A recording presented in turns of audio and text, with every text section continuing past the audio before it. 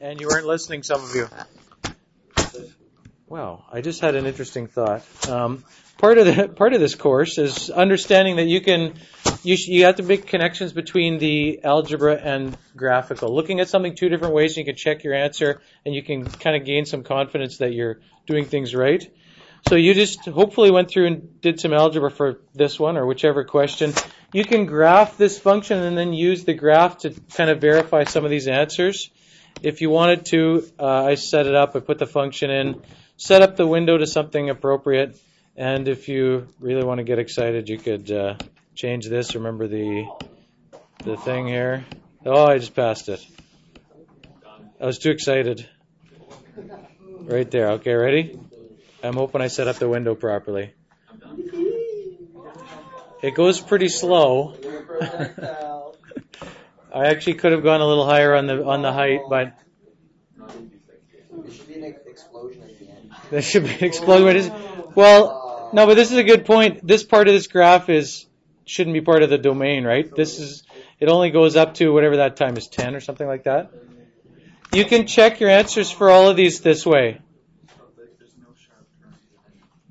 If you want to find the initial speed of the thing, this is the slope of the curve at zero, right? Okay, slope of the curve at zero. That's what you want, right? So if you were to go and now do draw the tangent at zero, it gives you this, right? It gives you, you look at, you have to be able to see the slope, the equation, that's the slope. It, gives you, it gives you this, right? I'm using x instead of t here because that's how you graph this. The slope of the curve at zero is the initial velocity, right? We know that. But you have to be able to make connections between the graphs and the algebra that you're doing. You'll understand it better. If you want to clear out that drawing, you have to go to there, clear, draw. Oh, and then we have to wait for the ball. Okay, I, I can't do this again. you have to wait for the ball. Now we can't even stop. Look at this. What's that? No, but then we have to wait for it to. Remind me next time to take it off the stupid ball. It pauses if you put enter, but then you have to still wait for it to graph to do anything. Um, if you want now,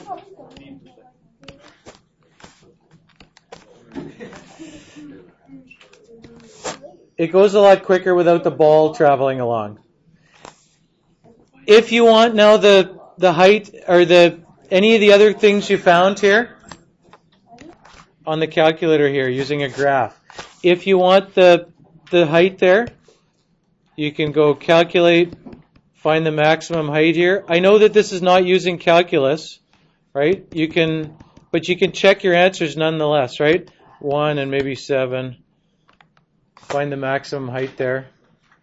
This should be an answer that's three, right? It's at its maximum at three, which is what we found right here. Okay, what's the height of the ball when the velocity is zero? That's also the maximum height. This this three seconds here hits the top point there, 784 feet. Its velocity is zero at the top. What's the velocity of the ball when it returns to Earth? If you went through and did this now and found you want to find the velocity when the position is zero, you have to take the position function, negative 16 t squared plus 96 t plus 640. You want to know when that is zero. I think if you go down here and you divide by negative 16, what do you get here? This minus, what is that? 6t plus, what do I have there? 40.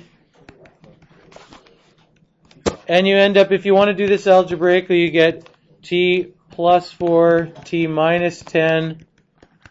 So t is negative 4 seconds or 10 seconds.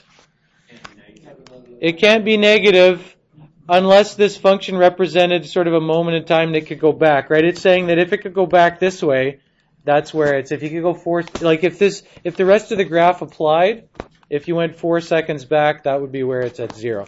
But in this case, that doesn't apply, so you have to throw that away, right? The domain for this is from zero up to wherever. So you'd have to reject this. 10 seconds. At 10 seconds is when it hits the ground, right? Hits ground at 10 seconds. Oops. Then use that number. Okay, use that number, 10 seconds. Put that number into the velocity and you'll find out what the velocity is. Velocity at 10 is, what did we say it was? Negative 32, 10, plus 96, is that right? So it's going 224 feet per second downwards, right? That is fast. If if you want to check this on your calculator, how could you do that? Tangent line at not at zero. Right before zero. Tangent line at what time? At 10, right? You want the slope of the curve over here. So you want you want to go draw number 5 tangent. You want to put in 10 here and see it'll draw the tangent there for you. It's saying the speed of the thing there is negative 224. You should be able to check your answers graphically. I want you to be able to make these connections. I'm going to ask you to do it algebraically, but I want you to be able to confirm things graphically. I think you gain a way better understanding by seeing what's happening using both those things. Okay? Are we okay with this? I hope. There's one other thing here I want to do at the end, which is the very last one here, because rates of change. This is tougher because we're not as familiar with um, rates of change for other things here.